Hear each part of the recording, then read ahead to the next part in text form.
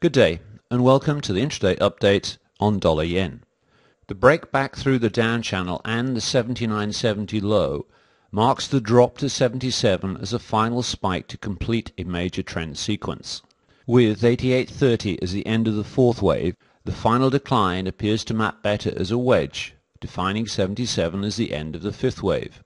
We are now in the process of making a five-wave recovery and are close to completing minor 3.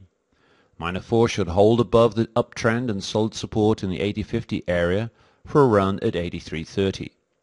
Whilst you suspect this will complete the first leg of the upside and allow a reaction, we would rather play things from the long side, as the built-up frustration of the last few months could well be released with a dramatic recovery.